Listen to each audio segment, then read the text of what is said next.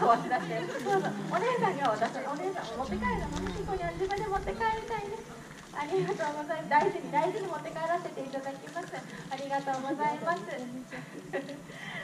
いリコにゃんですね一度お家に帰ります。けれども明日も明後日もじゃあ明後日もね頑張ってパフォーマンスしておりますのでまたリコにゃんに会いに来てあげてくださいね。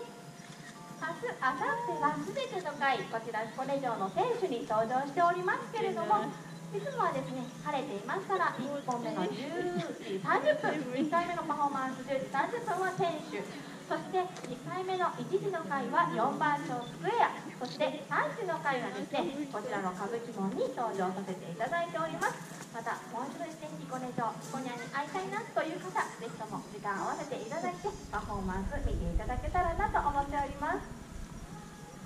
ちょっとずつですがね、ひこにゃん門の方に戻っていきます。もうしばらく姿は見えておりますけれども、小さな門の前の方に到着いたしましたら、皆さんで大きな声でバイバイと言っていただけたらなと思います。あ、お友達もバイバイって言ってくださってます。ありがとう。大きな声でバイバイありがとうま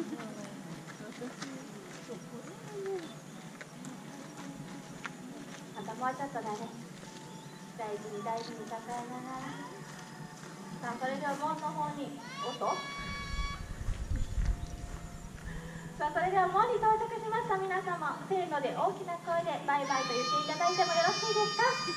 せーの！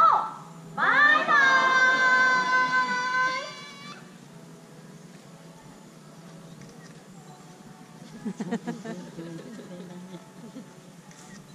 とニコちゃんお辞儀をしております。また遊ぼうねチューそれではね門の方に戻っていきます。もう少しで扉は閉まってしまいますがすごいですね皆さん本当に温かく見守ってくださる